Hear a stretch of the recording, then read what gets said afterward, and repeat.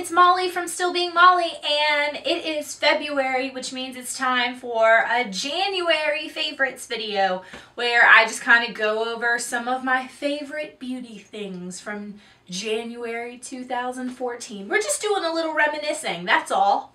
Anyway, I'm going to try and keep this short, so I'm going to quit all my rambling at the beginning and get started. The first two items are nail items, and I just did a video on the Sally Hansen Complete Salon Manicure nail polishes, and so one of those nail polishes made it into my January favorites, and then another nail polish completely unrelated to the Complete Salon Manicure nail polishes, but also from Sally Hansen, made it into my January favorites. So these are the two nail polishes. I ironically or coincidentally or something, I do not have nail polish on my fingers right now. It's just because I just took it off and was filing and all that stuff. I'm to paint my nails later tonight. So it's fine. Anyway, so this is the Sally Hansen It on the Black. I talked about in this video, in the previous video that I loved this color so much. It's just just a really, really pretty deep purple. And then this is also, um, this is going to be a go-to favorite throughout the whole year because it can really be worn all year round. And it's Antique Bronze. It's like a really pretty rosy gold color.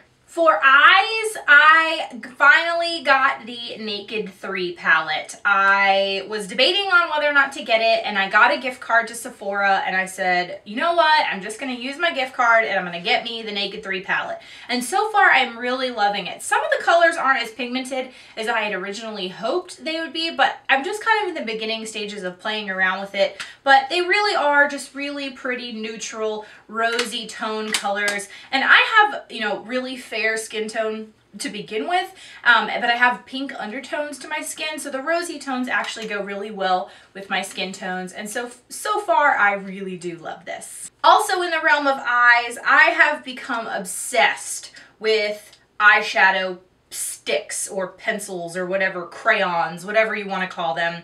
Um, I have gotten a couple of samples and then I bought a couple and they just make awesome eyeshadow bases and make your eyeshadows really, really, really, uh, the pigment really, really stand out. So I've got, there. I'm just going to put the category of eyeshadow crayons in my favorites. But I've got this one, which is a, uh, it's in Little Miss Thing. It's like a light goldy color from e.l.f. Jumbo Eye Pencil. This was a dollar. Um, this one is a Hello Kitty one. It is in a light purple.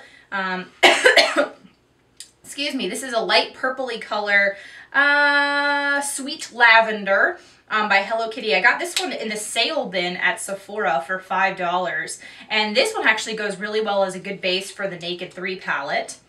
Um, I got this Smooth Shadow by Elizabeth Mott in Pearl. This is like a very, very light gold, almost like a just a shimmery beige color. I got this in my January Ipsy Glam bag. Um, this is my NYX Jumbo Eyeshadow Pencil in Milk, and it's just a white sheer, or like a just a plain white color, and this is great under really any um, eyeshadows that you just really want the color to pop. And then this Rimmel London Scandal Eyes eyeshadow crayon in, what color is it? Bulletproof Beige. And it is also a goldy color. I have like three gold colors here, but different shadow shade of color gold and it is just really really really pretty I actually have this on under my eyeshadow right now and it just makes your eyeshadows pop and I love it. The next is a foundation primer. Um, I got a sample of the Rimmel London Stay Matte Primer. I got a sample, I mean it's actually the full size of the Rimmel London Stay Matte Primer. I did a video back in November on the Rimmel London Stay Matte Foundation and I won a contest um, and I got like a bunch of samples of Rimmel London products so I was really excited for um, winning a contest because I never win anything. Um, but anyway, so I got the Stay Matte Primer and I've been using it under my foundation and even just under like a BB cream in January and it really helps your foundation and your uh, you know your creams just go on a whole lot smoother and I have been finding that my face isn't getting like really shiny by the end of the day um, so I am a big fan of this. And the next is a blush. This is a blush by Ro Laura Mercier in Rose Petal, and it is a very light uh, peachy uh, pink color, sort of. Um, but this is actually the color of blush that I wore when I got married. And I bought it after my wedding, um, and I have repurchased it a couple times, and it's just the perfect, soft, pinky, peach, blush for everyday, excuse me, hiccups. Oh, why do I always get the hiccups when I film? It's just the perfect soft peachy pink blush shade and I am just, I just love it and I wear it all the time and it's just, it's just so pretty. It's just so pretty. And no favorites video in my world would be complete without a mascara. So I, you know, I've talked about my obsession with mascara and I try out all the mascaras because I want to know all the mascaras. And there are very few mascaras that I don't like, but I certainly have Clubhouse favorites. Um, I was using the Rimmel London Scandal Eyes mascara um, previously and I'm still using that one, but I got in that same, from the contest that I won and I got all the Rimmel London uh, makeup samples. I got this one as well, which is the Scandal Eyes Retro Glam.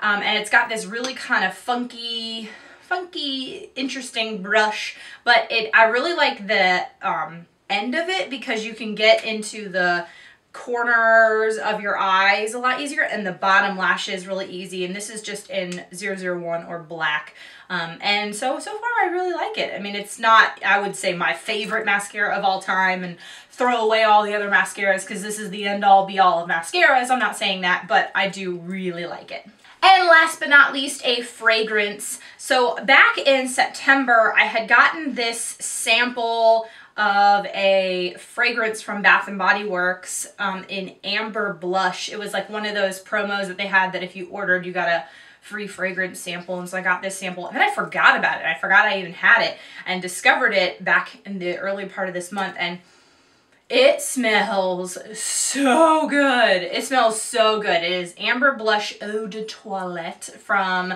Bath & Body Works. And I think the sample itself costs like $7.50. I don't know. I got it for free. Um, like I said, with like a purchase of lotion, something like that. But I am a big, big fan of this here Eau de Toilette. It just, it's definitely a more musky tone-ish scent. I don't really know. I don't really know how to describe scents. I'm sorry. YouTube has not installed that scratch and sniff feature that I have been asking for so that you guys can smell what I'm smelling. But anyway, so yeah, so I really love this scent. It's just a very, it's definitely a more wintry scent. I would not probably wear this in the spring, but it's winter right now. So yeah, so that's what I'm gonna do. So anyway, that is my roundup of January favorites for right now, and that's about it. I'm rambling. So I will, or I would love to know actually in the comments below what products you were loving in January. Anything I should try out in the month of February, let me know. And I will talk to you guys later. Bye!